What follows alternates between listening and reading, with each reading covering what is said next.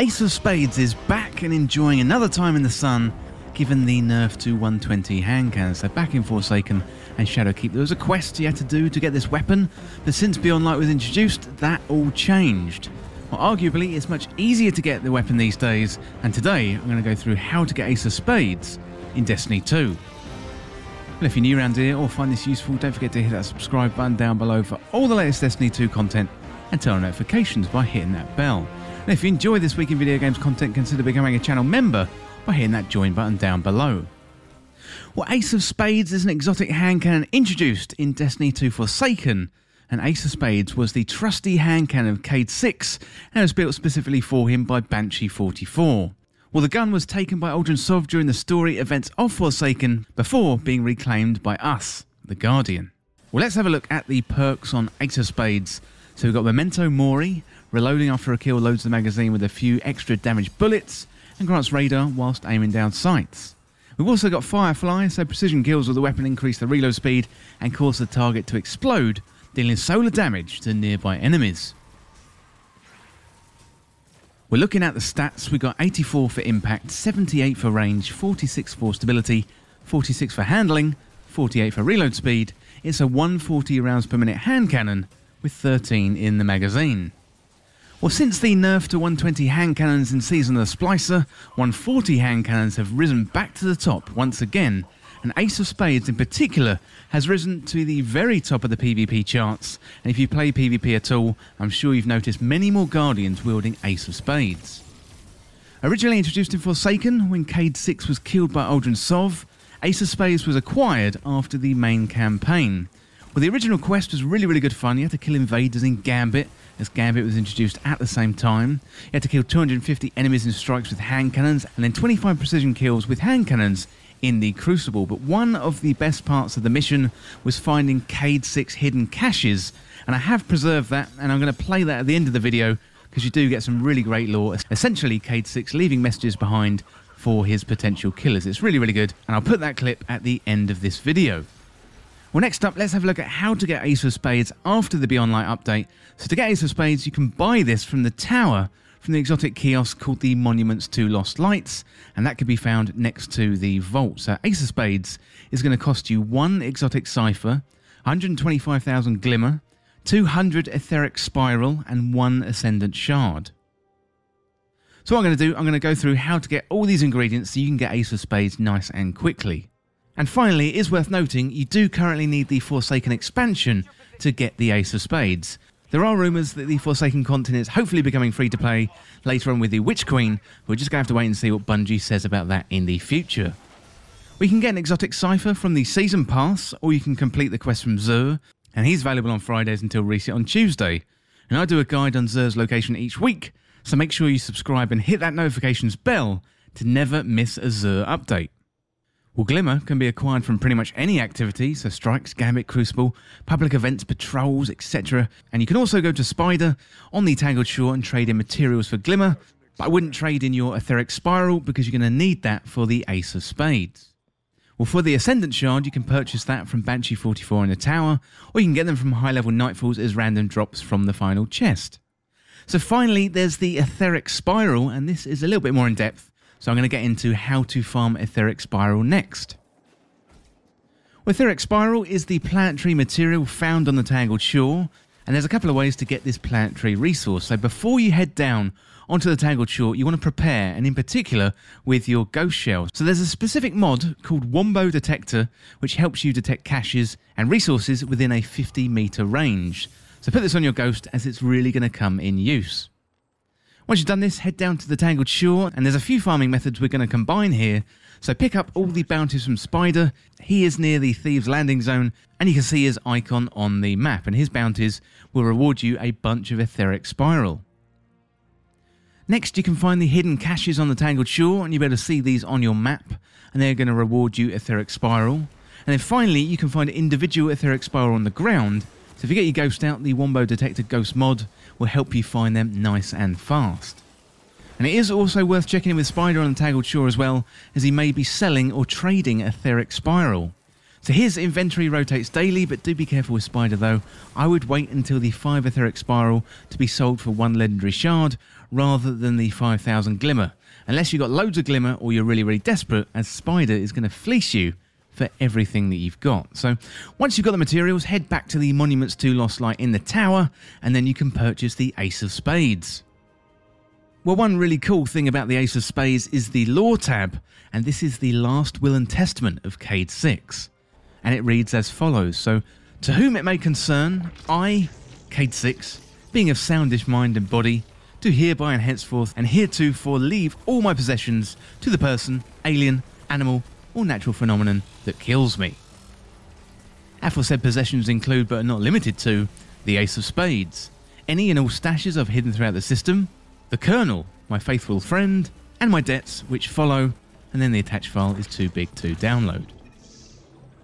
So Cayde 6 has a good sense of humour till the end there. But let me know down in the comments what you think of the Ace of Spades and what do you think of it in the sandbox as it is at the moment. It is completely dominating competitive PvP. If you haven't got this weapon, I would prioritise going out there and getting it immediately. Well, that is it for this guide for how to get the Ace of Spades after the Beyond Light update in Destiny 2. And as always, thank you so much for watching.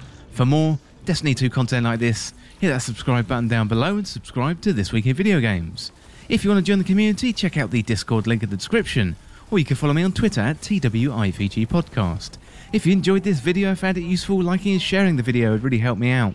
Otherwise, check out the other videos on the channel. Thanks again, see you soon, and I'll leave you with that footage of the old Ace of Spades mission, finding Cayde 6 caches, and it is a really, really good piece of content, so I hope you enjoy that. Well, that's all for now, but I'll see you soon.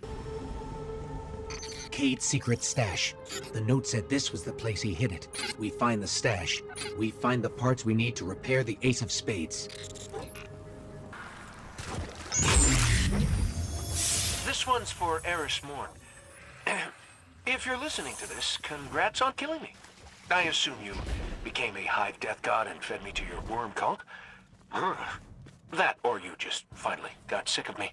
Coincidentally, if you didn't kill me and still somehow hear this, I'm sorry for stealing your ship. And, well, pretty much every other interaction we ever had. Detecting a stash nearby. But to be clear, if you did kill me, I do not apologize, and I will consider all my actions 100% justified. Either way, feel free to put your rock on my maps now. I don't need them anymore.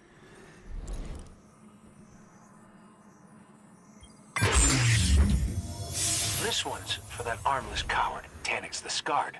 If you're listening to this, you killed me. But I bet I took a big chunk of your ugly husk with me. Guess Andal Brask wasn't enough for you, huh? You wanted another Hunter Vanguard for your sick collection? I got my share of regrets, sure. But not putting a bullet in you has got to rank in the top three. Won't be long before a better guardian than me puts you in your place. Just wish I could be there to see it.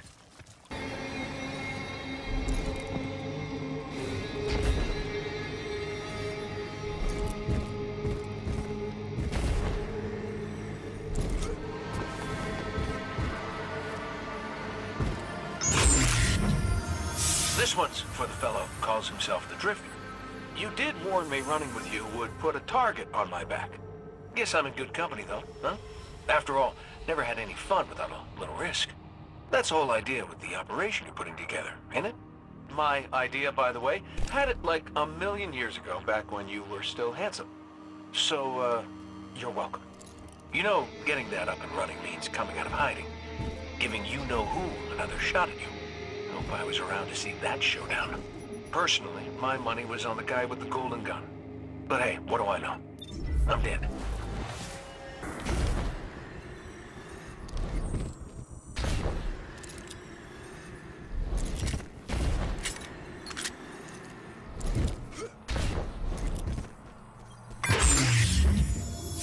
Petra, if you're listening to this, you killed me. Maybe the Sovs, in all their mysterious wisdom, decided they were sick of me? If the Queen ordered the hit, I guess I understand. You're a real glutton for chivalry. But if it was Uldren, I'm pissed. Just thinking about that peacock gives me a headache. But I'm betting my death was not a case of your famous collateral damage. Because you're a real do-gooder. Seriously, it's annoying. But good deeds never go unpunished when you're around. You just... You got a blast radius, PV. Well, it was fun while it lasted. Oh, and uh, tell Paladin Orin, if the sun over Nessus escapes the Nebula Cycle, evac labor after dawn under solstice. You got that, Peavy?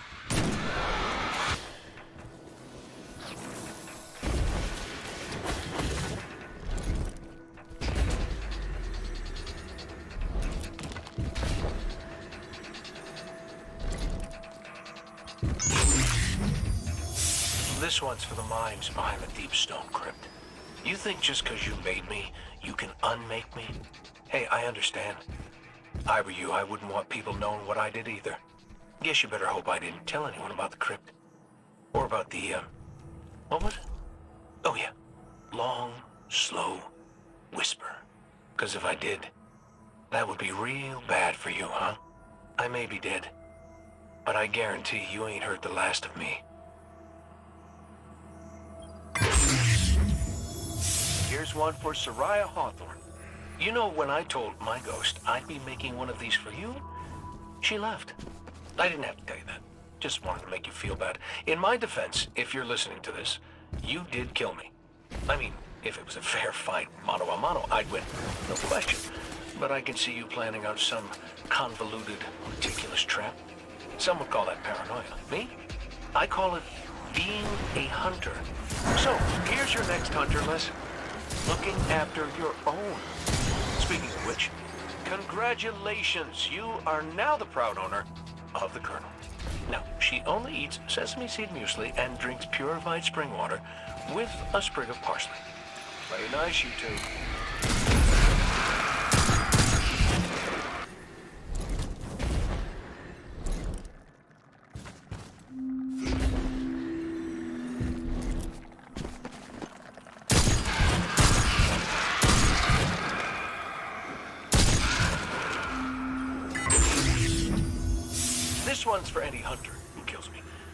Guess, Marcus Ren? You realize you get my stuff now. All my stuff. Including the Hunter Vanguard gig. Yeah. Congratulations, dummy. That's what we call a Vanguard dare. Sucks, doesn't it? Okay, brace yourself for some advice, Hotshot. One, know your people. Like my Nessus scout, Qantas Ree. I like to call her about once a moon, else she gets a little too much night. Not enough stuff, know? Two, keep your weapons sharp. Your job's to watch everyone's back, which means no one's watching yours but you. And three, start thinking now about what you want to do for your successor's Vanguard Dare. Because trust me, kid, this gig will kill you.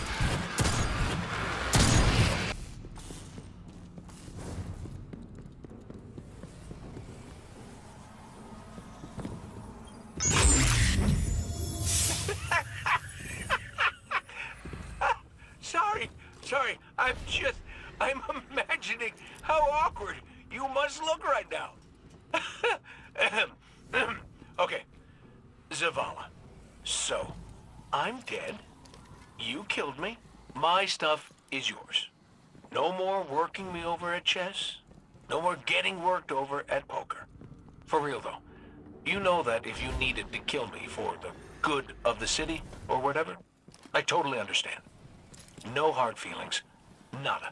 You can put this voice recording away and go on with your life. Now, if you did have some kind of lingering guilt or something, that would be rough. Because you and I both know you'd have me yapping in your ear for the rest of your days. You wouldn't be able to help yourself.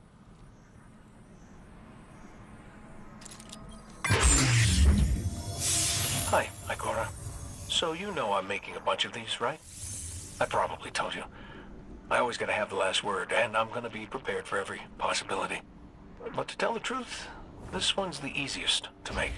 So long as we're being honest. I could never tell if you really liked me that much. But, uh, well, if you did hate me, the feeling was not mutual. In fact, yeah, I'll say it. Don't even mind that you killed me. I figure if we threw down, first off, no one can blame me for losing. And I know you'd be in the right. So, thanks, I guess. You were a, a good friend. Better than a guy like me could hope for anyway. So, yeah. Thanks, Ikora. For everything.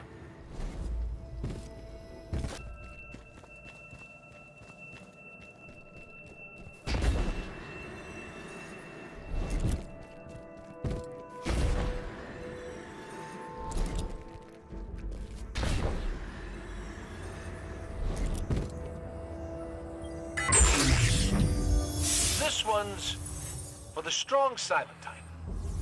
You. Congratulations, buddy. I mean that. Always knew you'd outdo me someday. And if that means you had to do me in, too, well, you saved my life on Nessus, so I owed it to you anyway. Take care of the Ace of Spades, will you? I'm not just talking about the maintenance. Banshee can help you with all that. I mean, take care of Ace. Use it well. Oh, hey, and if you found any of those papers from my earlier, uh, deployments, burn them. Don't want people poking through the lives of Cayde Zero through Five. So just put it all behind you, okay? Every story has an end. This is mine.